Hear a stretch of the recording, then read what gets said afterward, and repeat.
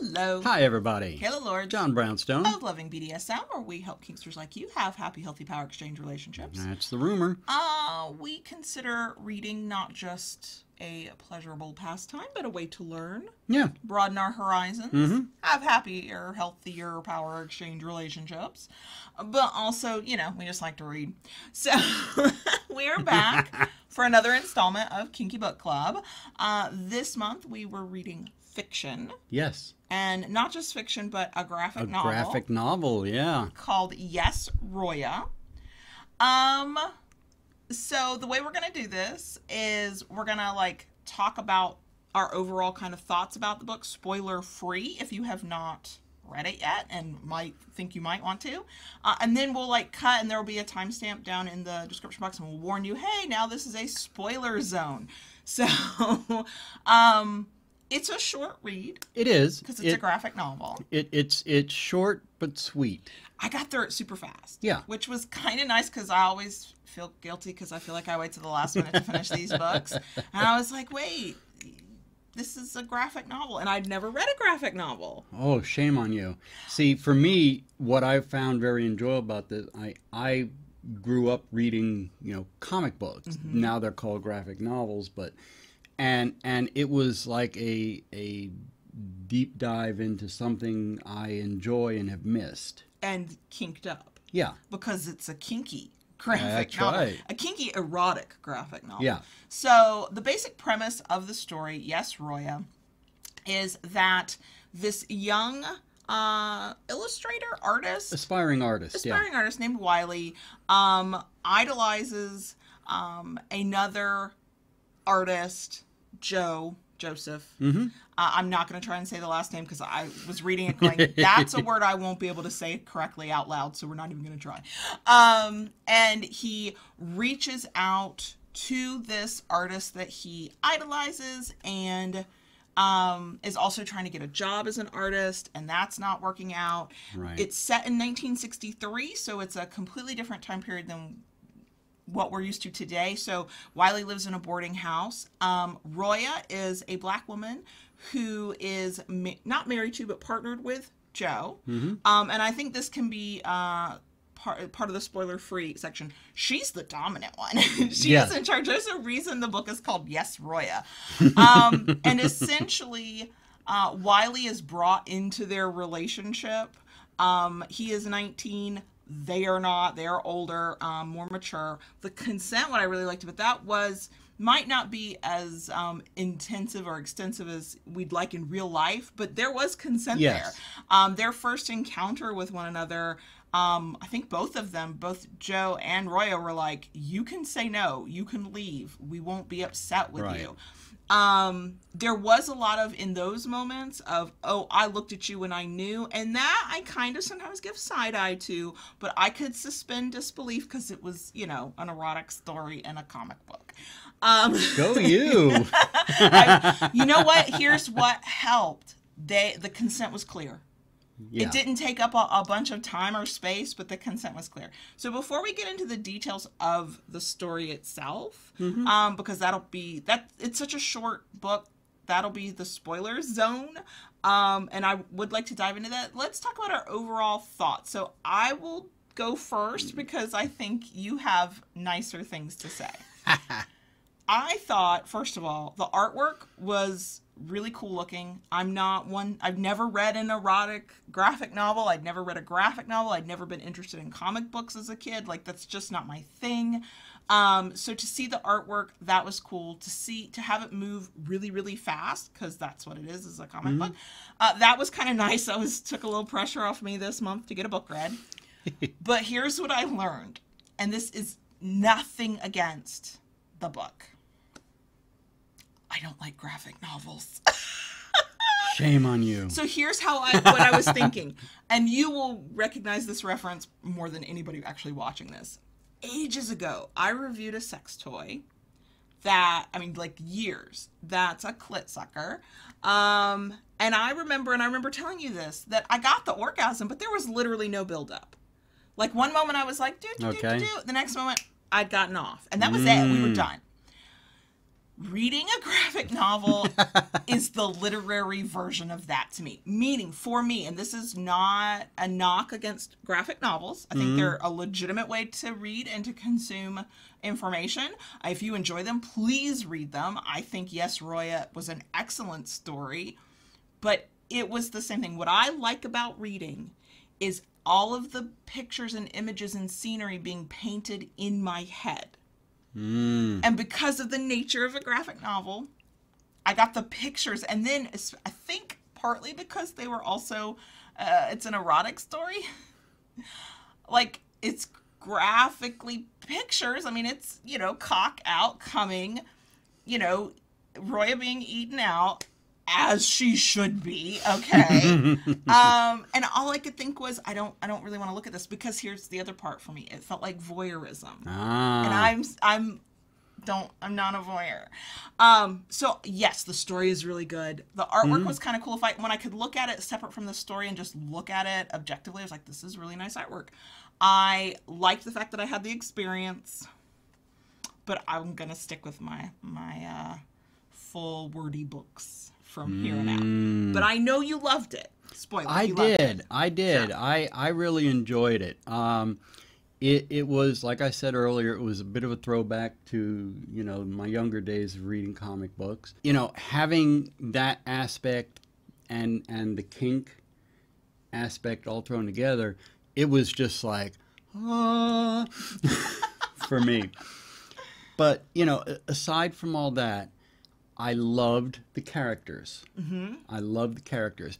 To a certain extent, Wiley, the main character, the young 19 year old, Innocent. OMG, so innocent. you know, I, I kind of saw myself, I kind of identified with him a little bit, Mm-hmm.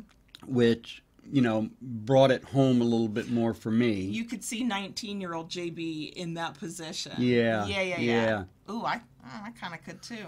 Okay, I'm here for that. Considering there is a lot of, of oral and physical sex and uh, dick sucking going on. I mean, my. my This- this, I'm not that- a voyeur, but my imagination likes this, to that, and the other. A young JB in and, that situation. and see, for the exact opposite reason from Kayla, I love the artwork. Mm-hmm. I, I I love the the visual aspect of it. does it for you does it help you imagine the story in a more vivid way than because i know you read all kinds of books sure. and obviously you know you're not just reading graphic novels so you get you enjoy both sides but does that help you have that vision A, in your a head? little bit, yeah, Mm-hmm. yeah, yeah. I enjoyed the artwork because I I like I genuinely liked the artwork. Mm. It was fun. Yeah, it was a light read, Mm-hmm. like a graphic novel should be. Um, the story was short but concise. yeah and it's a pretty simple storyline Yeah. i mean there now i say that it is a simple storyline and we're gonna get into that spoiler zone Mm-hmm. and yet there was depth to it there Yeah. was meaning to it i really like that hmm The interplay between the three characters, Wiley, Joe, and, and Roya, um, was great. Mm-hmm. And then you had that, you know, that tension brought in and kind of added to the to the flair of it, which was really cool. And you know, some of the the things, you know, I'm going to date myself a little bit. You know, the era of night of the 60s you know yeah i, I could kind of relate to how some of that stuff all played into what was going on Oh yeah, there was uh, one character, not of the three main characters. One character who uh, was worried he was going to be outed as gay in the 60s, so he was vicious because of it. There was one character who was never overtly racist in what he said, but his demeanor within the artwork you knew. yeah Um, and then um, when the three of them, it was kind of made clear that they were there was something between them, even if nobody knew what. That same racist character was like, "Oh, you're a bunch of those freaks. Get the hell out of my house," um, and that felt very. uh, very much like I think the picture we have in our head of what the 60s was like. And also, I was like, oh, gee, I, I recognize some of these things beyond that time frame. Yeah. Um, so I think what we need to do is get into the spoiler zone. Okay, so right. if you have not read Yes Roya and you are interested and you don't want to know all the details, this would be the place to stop. Uh, if you're either not worried about spoilers or you've already read it, let's keep going. So, as we said, it's really about the relationship between these three. Yes. Wiley is the aspiring um, artist who idolizes Joe and gets advice from him. Actually, gets kind of rescued from him, air quotes around that, uh, at a job interview that he was not going to get that job. Right. Um, and what you find out very quickly in is that Joe is the face of it. He presents the artwork that's made him quote famous and wealthy um, as his own, but it's actually Roya's artwork. yeah. And the reason is not explicitly stated, and yet in a way it is. If like you today's audience should understand when she says she's a black woman, she's like, I know if I present that, I either won't get nobody will print it, or I won't make the money that I know it's worth. So with my permission, Joe says it's his. I do the work. We're together. Mm-hmm. I'm okay with this. Now, as a modern reader, I'm like, God, that fucking sucks, and yet I'm also like, ooh, but and and yet in the context of the era that era that it's written in, you understand completely. Exactly. Yeah. Um, and there's a there was that part of me that was like the injustice of it. That's fucking Right. bullshit. Um, and then at the same time, you're watching her control this relationship. Now, their power exchange, which was never stated as power exchange, I don't even think they used the words dominant and submissive. Um, it was very much understood as a kinky reader. Um, that power exchange was very um, strict in, from my perspective. Yeah. Um, it was literally, what does Roya want? Roy, if you know, with consent, you do what Roya says. You What don't Roya think, wants, Roya gets. Right. You don't think, you don't question, you just do. It was one of those things like if Roya says take off your clothes, you take off your clothes, but you don't do anything else. You don't question, you don't do extra movements. Mm-hmm. It and I have briefly been in those kinds of like Mm-hmm. situations and it for me it's hot and sexy for about five minutes and then after that Yeah. we're done. But this it was a very um I wouldn't call it high protocol Well, at all. that, that's but where I was going to go with it. Oh, It, okay. it. It is very much like a high protocol. without the language of high Yes. protocol. Um, Yes. Nobody was calling her mistress. Nobody like there were no titles used. It was it was a lot of yes Roya. Yes, Roya. Um, and when they bring Wiley in, because in that meeting that Joe and Wiley had, where he was sort of, get, you know, telling him stuff about being an artist and getting jobs and stuff, um, this is the part where I kind of went. Mm, because Joe was like, I just knew it, I just sensed it, and I was like, I don't, I don't personally love that, but because the consent was clear, I allowed the suspension of disbelief. I was like, okay, I'll go with this because they didn't it wasn't like a lot of stories where I just knew and then we never had to talk about it. Right. They gave him an out. Um, but the very first like sexy power exchangey thing wasn't with Roya directly. It was Joe sucking Wiley's cock because Yes. Roya wants to see Wiley's O face. It's like- and then the next sexy lesson is making Wiley watch Joe eat Roya out Yes. because hello you got to learn how to do this She she wanted him to learn how she liked it. exactly and he was apparently a fast learner. Yep. um uh, in that part because there's like we said that's the main plot and storyline and then there's these little extra bits so that we kind of alluded to earlier. So in that main storyline i really loved the section where i think it was kind of towards the end of the story when when the drama uh, the subplot drama was kind of happening. And they were sort of telling him okay you have an out if you want it. Like if this is not what you want no hard feelings it's fine and Wiley, I can't do an exact quote, but Wiley basically says, "This is the the closest I've ever felt to who I really am. Yeah. I am completely in touch with myself. I can't imagine not having this life anymore." And I was Mm-hmm. like, "Oh, I want it." Right? Yeah, no, it was a cornerstone moment, I think. Mm-hmm, You know? And even though this story is really short, you watch Wiley from the very beginning. He's like a bumbling, naive, young kid who is trying really hard and kind of knows what he wants, but he's really uncertain. Like, I mean, like I remember being 19, 20. Yeah. yeah, right.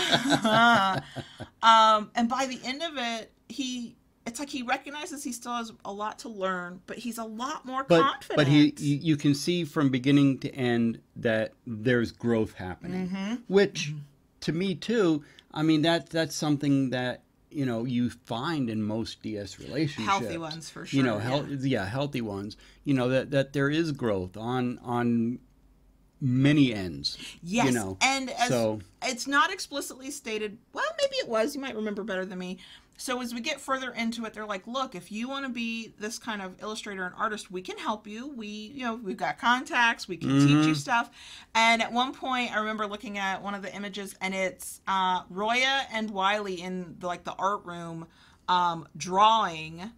Um, and doing their work, and Joe's like, "Do y'all need anything? Are, Right. are we going to the beach today?" And they're like, "No, we're busy." Here's a part we kind of um, I didn't forget, but we kind of left out. So the way this kind of came about, he goes Wiley goes to Joe's house to like meet him and get to know him and have 30 minutes of his time. Yeah. While he's there, he goes snooping in their illustrator room, their art room, and finds a fetish image of Roya dominating Joe. I think it was Joe in the picture. It was Roya I, dominating. I, I don't I don't remember explicitly the, the picture, but he finds a fetish picture. Yeah, that- that's been cr- drawn by Roya, and he thinks it's drawn by Joe. When Roya comes in and is talking to him, like, "What are you doing in here?" Apparently, in a panic, he crumples it up and he puts it in his pocket to hide that he has it. And then we see him later um, masturbating to the picture, so you know it's Yeah. done something to him, and that's what sort of sets the scene for yes.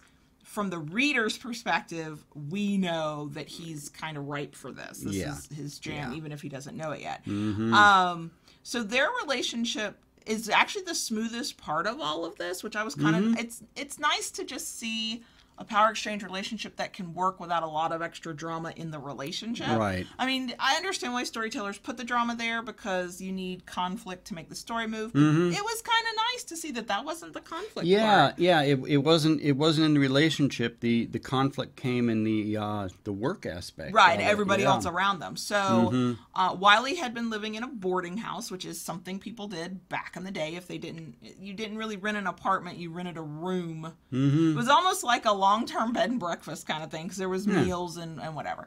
Um, and so he was living with an older couple. Um, the wife wanted to entertain, thought Joe, the illustrator, because she didn't know the real story of who was drawing everything, uh, was, oh my gosh, he's famous. He's in the newspaper. Invite him over, invite his wife. Her husband's older and he's just cranky. I mean, he's just written as a cranky character, doesn't trust anybody, but he's giving Roy a side eye the whole time over dinner. This is towards the end of the book. Um, when the other person who creates drama in a bit of conflict um, comes barreling in, nobody introduces Roya to this guy, and she makes the side comment, you know, maybe next time you'll introduce me or something like that. It was like she was Yeah. both as a woman and a, definitely as a black woman was completely ignored in that situation, Mm-hmm. and I like that that was not completely glossed over. Roya certainly made a note of it.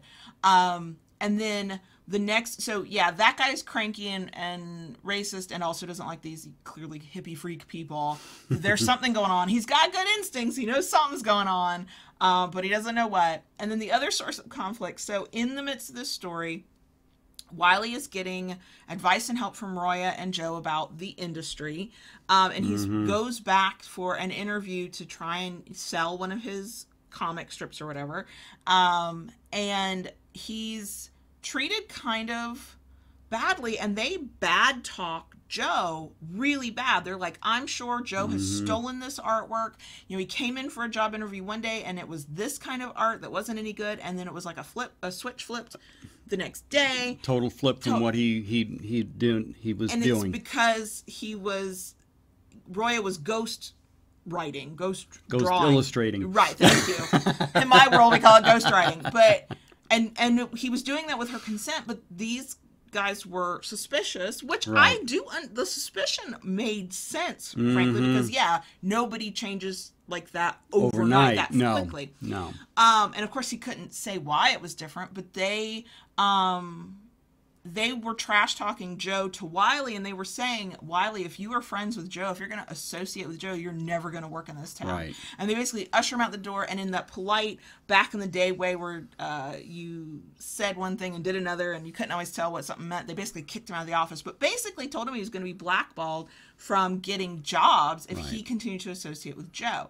So then he comes back to them and he's like really upset and he's like, "What is going on?" And they they were like, "Oh, that that was wrong." Blah blah blah. So it's at dinner towards the end when cranky racist guy and nice little old lady who just thinks Joe's famous and so happy.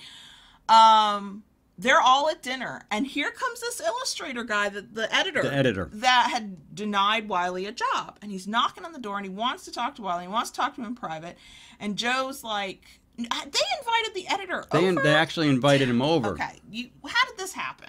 Um, it it stemmed because Joe felt bad that Wiley was being black blackballed, uh, you know, from getting a job. Right. So he wanted to set things right. And so he invited the editor to the so dinner. so he devised a plan to invite him to dinner, Gotcha. and and that's how that all came about. For about. a short story, I've already got the details confused. So that's happening, and they're talking to him outside, and that's when, and I feel like I never got the subcontext until it was pointed out to me. Hmm. Joe's like, "You made a pass at me, and I was too young to know that you were making a pass at me, and I probably would have taken you up on it because yeah, I was totally into it, but." Because I rejected you, you've been waiting for me to out you as a gay man, like or into guys, all this time. Mm-hmm. Is, is that what this animosity and anger is about? And the editor's denying it the whole time, but the way he's denying it, the way the the illustrations show like body language and facial expression, like it's clear that that is what happened. Yeah. And so now, yeah, he's he hates Joe with a passion. Um, doesn't want to be in, around anyone who associates with Joe, um, and will do anything to sort of protect himself. Um, the, my under- remembrance of that is the editor dude just stalks off like whatever, Mm, Pretty much. and that's yeah. not really resolved. No, it's not. But in a way, it is resolved because Wiley's like, I don't want to work for that guy anyway. I want to kind of go my own way and make my own art. Yep. Um, and that that was kind of cool because that was another point of growth Mm-hmm. for Wiley, which is really, I think, it's the relationship is the point of the story, and Mm-hmm. even I would say Wiley's growth in this is, Is- yeah. of the story. Correct. Um, and then at the His self discovery. yeah, yeah. And then right after that, old racist crusty guy's like, well, you either need to leave those people alone or leave my house because those people are not welcome in my house ever again. And Wiley's like, okay, see, See ya. ya. yeah. And I really like that too because And I did a, you know, yeah. yeah. yeah, because I mean, it is not unheard of for people to crumble in the face of that kind of Mm-hmm. pressure because especially if you are not yet confident in who you are Right. and people that you know and respect and admire are telling you that this is wrong, but he had and I didn't get a sense of how long this timeline was in the story, but it was there was time had passed. He'd had Yeah. enough time to develop a relationship. Sure. And he was like, okay, fuck you, gotta go. You know, it's like, you can send my stuff or you can toss my stuff. I I'm out of here. care." Yeah. Moving on. Yeah, went, moved forward without a single Mm-hmm. look back kind of deal. Uh, and yeah, that was a that was a nice triumphant moment too. Yeah. Yeah. Again, Yeah. again, what I really like is that the sources of conflict in this story were not the kink. It was outside the relationship and the kink. The, yeah. the relationship and the kink were relatively healthy, moved Mhm. forward relatively smoothly. Um, and I didn't get the sense that it was this unrealistic kind of thing where nothing bad ever happens. It just sort of felt like there was, at this point in their relationship, there's no major conflict for them that they hadn't either been able to resolve without, you know, the side conflicts were enough. Yeah. Um, Yeah. so yeah, so yes, Roya, uh, graphic novel written Mm-hmm. by C. Spike Trotman. Um, I am not. I'm still not into graphic novels. I would love this story as I don't want to call it a regular book, but you know, a regular book for lack of a better Mm-hmm. word, because I would love to paint those pictures in my head and i think that what i missed are some of the small details and asides that a graphic novel Yeah. just gives in a different way. But the story itself, like if you've never read a graphic novel, I recommend this as your first one. If you love graphic novels and you're into like kink stories, highly recommend. Yeah. Highly recommend that And one. and see, for me, I I really had no inkling that something like this was around. I mean, I I know there online there's some things, you know, and I do read some stuff online um, that I subscribe to, but I could go down a rabbit hole with this stuff. I think you should. Um, the author's Amazon page had a ton of other stuff Mm-hmm. that was similar style. I don't know if the stories were similar, but Yeah. similar style. Yeah. So we enjoyed Yes Roya. Did very much. Uh, we're house divided on yet another issue, but we did enjoy the story. So hopefully, if you uh, are interested, you will check it out. The links to buy it um, are down below. Uh, yeah. So next month we're back to nonfiction. Yep. Uh, it's a book that I bought ages ago and haven't read yet.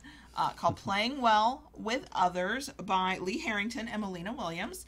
Um, I, is about BDSM community stuff. So instead of just the relationship aspect, we're actually looking outwards. Uh, I'm very, very interested in reading that one. That'll be next month's book. Uh, if you want more information about Kinky Book Club, the books we're reading this year, books we have read in the past, links are down below. If you've read Yes Roya, uh, tell us what you think uh, and how you sort of thought about that story.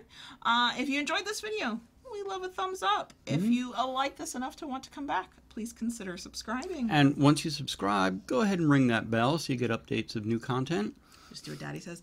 And if you really like what we're doing here uh, on the internet and you want more of it that you can't get anywhere else, join us on Patreon. Patreon.com slash Lords. Bye.